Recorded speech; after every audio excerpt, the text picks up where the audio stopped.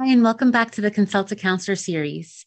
In this series, I answer parenting related questions so that you can be present and at ease with your child and live life mindfully. Today's question is My kid does not like his teacher at all, and it's only the start of the year. Should I ask for a change in teachers?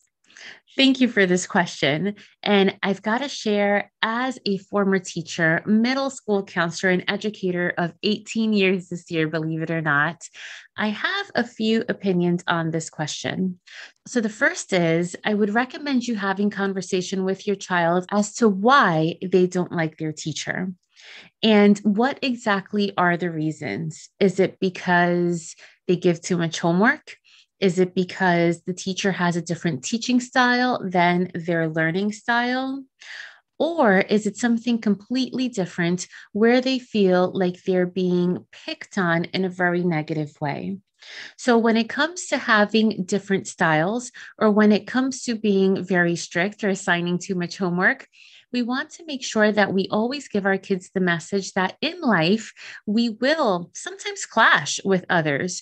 We will not like everybody we meet, and not everybody we meet will like us either, because we all have different personalities. And that is what makes us all amazing as a human race. And eventually, as the year goes along, you can always check in with your child, and you may be surprised as to how they feel about the teacher a couple of months into the the school year.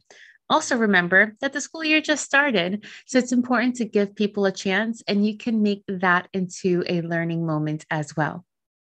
Now, if the case is completely different and your child feels like they're being picked on in a way, not because they don't know the answers or they do know the answers, but if they feel that it's a clash based upon something they can't change about themselves, such as race, gender, ethnicity, gender expression, sexual orientation, or anything along those lines, then the conversation is much different. And at first, I encourage you to reach out to the teacher via email to voice your concerns and request a follow up phone call or an in person meeting.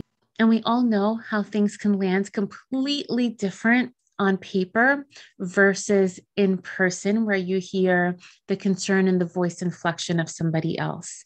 So I think that an in person meeting would be greatly beneficial if you feel after coming up with some interventions and you've given things time, then you can go to the next step, whether it be to contact your child's school counselor or to contact your building administrators before going elsewhere.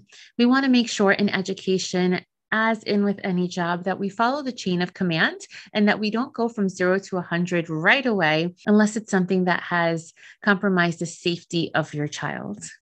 Also, keep in mind that your child may be in that same school for a number of years. So, you really want to make sure that the situation is handled well so it doesn't impact anything in the future while your child is there in the same school. So, I hope this helps. If you think this could help a mom, dad, or caregiver friend, be sure to share it with them and subscribe to my podcast so that you don't miss the next one. And if you have any questions for a Consult a Counselor, you can always email me at hello at freetobemindful.com or DM me on Instagram at counselor V de Jesus.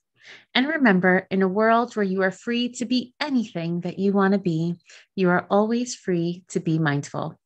Thanks so much and catch you next.